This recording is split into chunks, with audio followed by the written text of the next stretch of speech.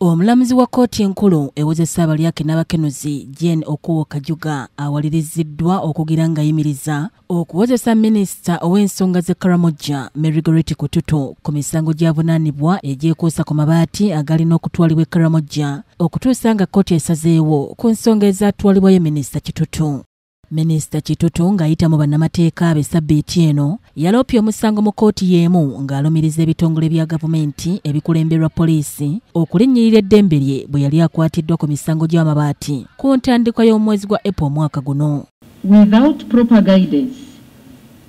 some iron sheets meant for Karamoja region were given outside the region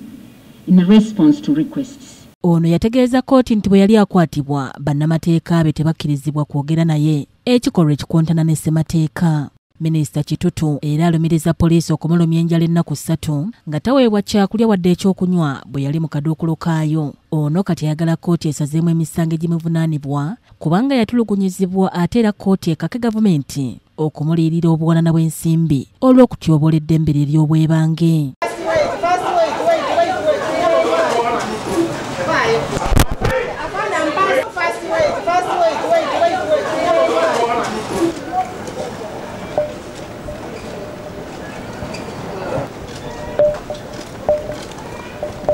omulamuzi ategeezezza nti waakuwulira okusaba kwa minisita ng'ennaku z'omwezi 19 omwezi ogujja minisita kitutu ne muganda we naboya kitutu wamu n'omuyambi we joshua abaho bavunaanibwa emisango gy'obuli bw'enguzi. Oludda oluwaabi mwe lubalumiriza okwezibika amabaati omutwalo gumu enkumi nnya mu bitaano agali ag'abawejjere b'e karamojja wabula emisango gino baagyegaana omulangira junju moses yakusakidde eggulire lino ku rocket tv amalindirire